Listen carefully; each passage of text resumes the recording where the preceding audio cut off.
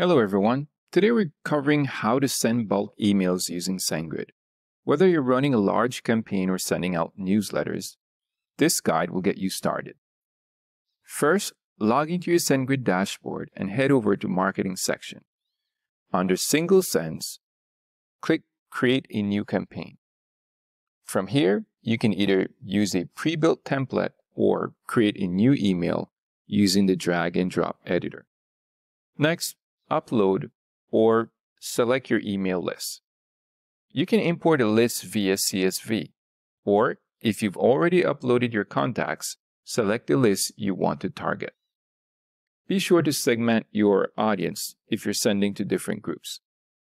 Now it's time to finalize the email. You can personalize it using custom fields like first names or dynamic content to make each email feel unique even when sending in bulk. Before you hit send, schedule your email for a time that works best for your audience. Don't forget to review your campaign settings. Once everything looks good, click send or schedule to send at a later time. And that's it. Your bulk email will now go out to your entire list. Thanks for watching. Make sure to subscribe for more email marketing tips. If you haven't tried SendGrid, just hit the link in the description and you can get your free trial today. I'll see you in the next one.